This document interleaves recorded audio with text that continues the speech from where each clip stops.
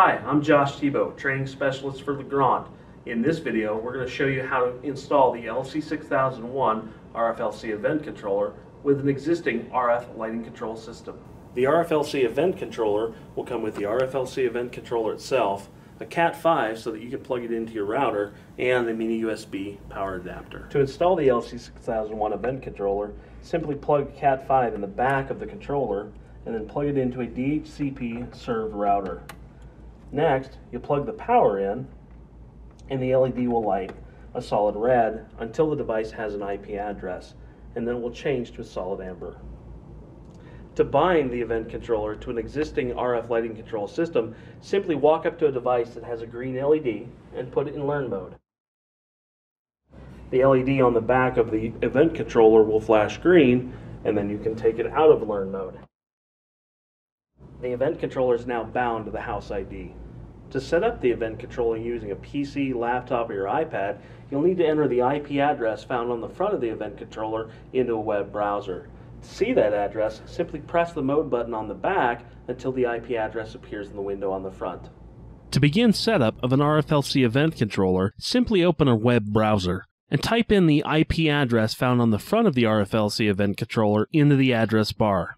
Once inside the setup menu, the first thing you're going to want to do is set up your system parameters. You'll want to adjust the time settings first. The first thing you're going to want to do is enter the zip code for where the house is located.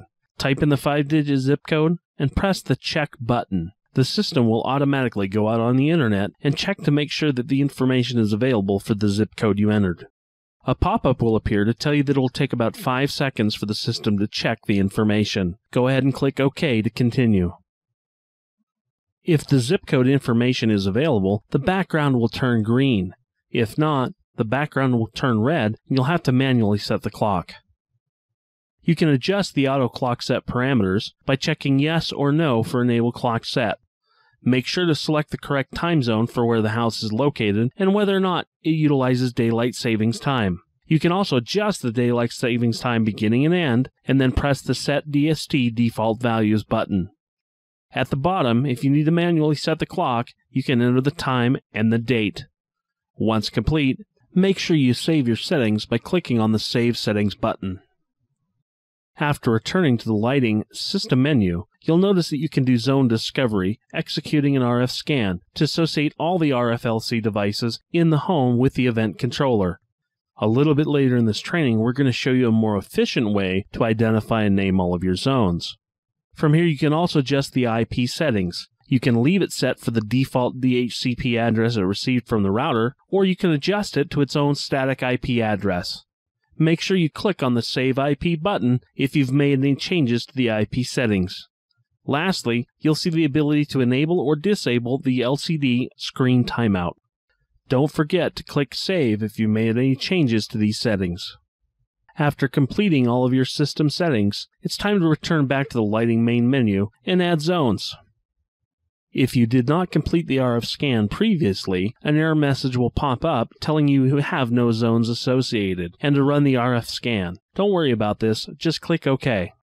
The most efficient way to associate and name zones is to use a PC, laptop, or wireless device like your iPad connected to the Wi Fi that supports the RFLC event controller. Simply press the raise or lower button on a dimmer, switch, or lamp module, and its four digit ID number will appear once you press the refresh button in the zones menu. You can now highlight the four digit ID number and give the device a descriptive name, like kitchen ceiling, for example. Simply repeat this process for every dimmer, switch, and plug module installed in the home.